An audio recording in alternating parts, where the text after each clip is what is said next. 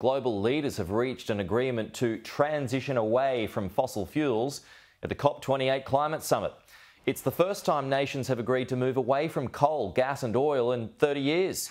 There were long negotiations over the language used in the agreement before it was rushed through by host nation United Arab Emirates.